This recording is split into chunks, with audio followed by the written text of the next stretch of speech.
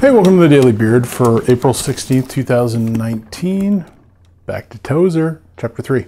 All right, so chapter 3 of Tozer, uh, The Pursuit of God, is called Removing the Veil. First off, Tozer talks about God made us for himself. Literally, it says, What is the chief end of man? To glorify God and enjoy him forever. So that's like, if you want to know why we were made, that's why we were made. Sadly, we've broken with God and have fled from his presence, but as Tozer points out, you, you can't hide from God. Like Adam tried, Peter tried, several people tried, lots of people have tried, I've tried. You can't hide from God, he's everywhere, so you can't hide from him. So in this chapter, he gets into uh, the temple, the, the Jewish temple, um, tabernacle, um, and the tabernacle was set up with these veils where like you could only come so like if you were a normal person you could only come so far and then a priest had to take it from there and then there was an inner veil which like a veil you you think material but it's like I believe there were actual walls that you couldn't go behind. So like the there's the outer veil and then the inner veil and then the innermost veil. And the innermost veil you could only go in once a year one priest once a year and he had to be very special um, and so he's talking he talks about the veil and that that inner sanctuary and how like it it was setting up jesus stuff because there's a candlestick which is the only light in the first inner veil um not the innermost one but the second one. And and there's bread so it's like jesus is the light of the world the bread of the world you know it's like these are things jesus identified himself with. But the veil the innermost veil where you were only allowed to go once a year if you were a selected priest was where the actual presence of God was. That's where like the actual like God was. Like he's everywhere, but he that's like that's where he was most, especially for the Jewish people. So if you don't know when Jesus died, the veil in the temple actually tore in half.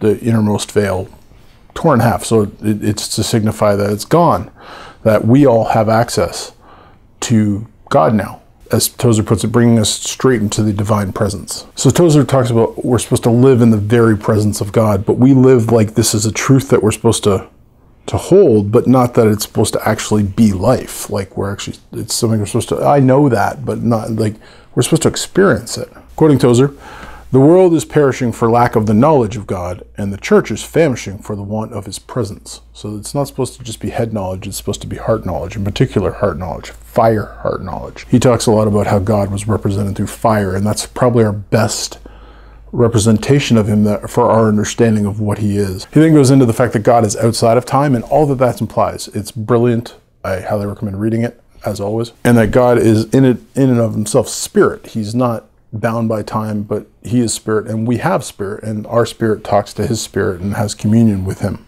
And because his spirit is like fire, it should consume us, just like fire consumes things.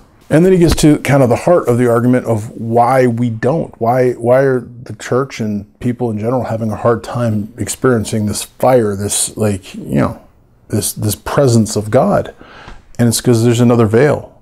Um, and in this in this point, it's the veil that we've put there um, Tozer talks about that, that we've made this self made veil that um, we're afraid to give up, and it's made of fear and shame and love of sin, and especially self life. And the self life it talks about is self righteousness, self pity, self confidence, self sufficiency, self admiration, self love, depending on self and bringing everything back to ourselves.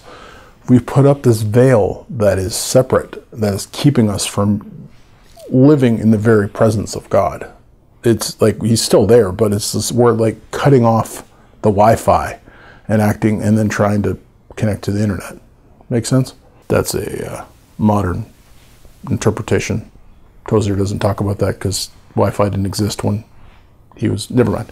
So he talks about Jesus shedding light on this veil and that he can tear it down. Quoting Tozer, we must invite the cross to do its deadly work in us literally we have to die to self. Because like i said it's all about self-love and self-dependency and self-sufficiency and we need to rely more on god and we need the cross to to literally die to self. We have to embrace the fact that we got to give up ourselves and then we'll be more like christ and we'll be more into the like we'll be into the inner sanctum that veil will be gone and we'll have better communion with god. So you got to die to self so let's in a nutshell, a very quick nutshell.